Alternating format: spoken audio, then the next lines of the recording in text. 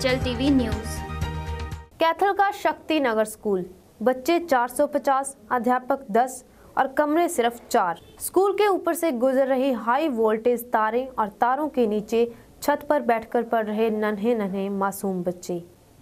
यह है स्कूल का दृश्य। स्कूल में इतने कमरे भी नहीं है कि सभी बच्चे नीचे कमरों में बैठकर पढ़ सकें। स्कूल अध्यापकों का कहना है कि कई बार बिजली की तारों के बारे में शिक्षा विभाग को भी लिख चुके हैं व बिजली विभाग को भी। आकर सभी देख जाते हैं, परंतु कार्यवाही कोई नहीं करता। जनक नरूला, कार्यकारी अधिकारी व प्रिंसिपल ने बताया कि इस बारे में विभाग को जानकारी है। हम दोबारा विभाग को लिख देंगे। बिजली की तारों के कारण खतरा तो बना ही रहता है। कई बार विभाग के अधिकारी यहाँ का दौरा भी कर चुके हैं, मगर कोई कार्यवाही नहीं हो रही। इस बारे में विभाग को इन्फॉर्मेशन है और कार्यवाही अभी तक तो हुई नहीं है। आगे हम दोबारा लिख देंगे उनको, क्योंकि ये बच्चों के लिए तो खतरनाक है ही है। कोई भी कोई भी हादसा हो सकता है।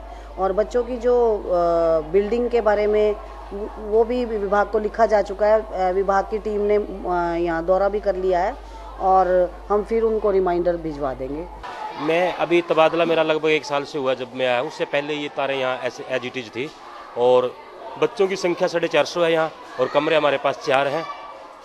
जिस वजह से हमें कुछ पड़ोस में एक थाई है, वो ली हुई है, वहाँ बच्चों को बिठाना पड़ता है। तंगी है, परेशानी है। विभाग को भी पता है, इस बारे में पूरे पूरे के पूरे ब्यौरे का पता है, सारी चीज़ों का जानकारी है और पता लगा था कि शायद विभाग हरकत में आया हुआ है और शायद जल्दी ही समाधान हो जाए। और ये जो कमरे हैं, कमेटी ने ही बढ़ाए पीछे। इससे कुछ तो राहत मिली लेकिन पूरी तरह से बच्चों की जो पढ़ाई है, वो बाधित होती है, सुचारू रूप से नहीं चल पा रही। अध्यापक, बच्चे, अभिभावक, तीनों ही परेशान हैं, जगह की कमी की वजह से। क्योंकि जो हम अध्यापन का कार्य अध्यापक करवा नहीं पाते प्रॉपर तरीके से। कैथल से हलचल टीवी के लिए शोभा चंद टांडा की रिपोर्ट। आप देख रहे हैं हलचल टीवी न्यूज़।